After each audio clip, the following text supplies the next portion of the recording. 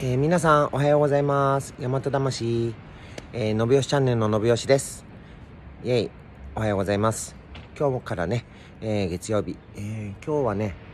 え今週も晴れの日が続くのかな。今週 1, 週間ね晴れが続きますし今日も暖かくなりそうななのでまあ仕事もしやすいかな。まあ逆にちょっと暑いかな。ちょっと僕もね薄着着てます。皆さんもね今週1週間えー、一緒にお仕事頑張りましょう。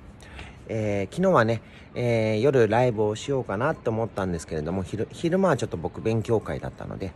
えー、できなかったんで夜やろうかなと思ったら地元のね、え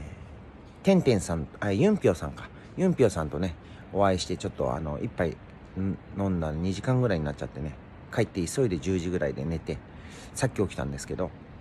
まああのー、今日は、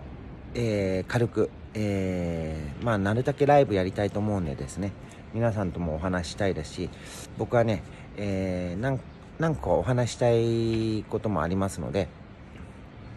ぜひ楽しみにしていてください。えー、今日はね、えー、まあ多分眠くなってるかもしれないですけれども、まあ夜少し30分か40分ライブしますので、皆さんぜひ遊びに来てください。えー、お楽しみにしてください。ではよろしくお願いします。豊かおはよう。では。